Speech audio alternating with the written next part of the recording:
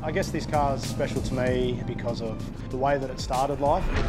It was rusted, it was pretty rough around the edges, So the body shape was there. It just needed finishing touches to make it right.